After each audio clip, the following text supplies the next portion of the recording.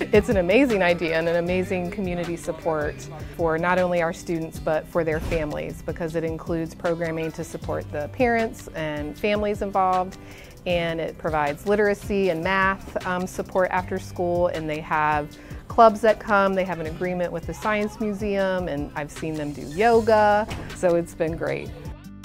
The Community Learning Center, or CLC program, is also active in many of Henrico's elementary schools. It is a grant that we received that allowed us to provide some after-school programming for students, um, enrichment activities, in addition to some academic remediation for students. So it was a really cool opportunity because students are exposed to maybe some experiences that they may not be able to experience on their own. So we are just building their background knowledge with these experiences like chess club, robotics club, music, things like that. Through our PTA, they had a fundraising initiative to raise money to purchase a book vending machine. So we were able to raise a significant amount of that and I reached out to HEF and they were willing to pay the balance of the machine. So now we'll be able to have a book vending machine here at Laburnum, which is super exciting.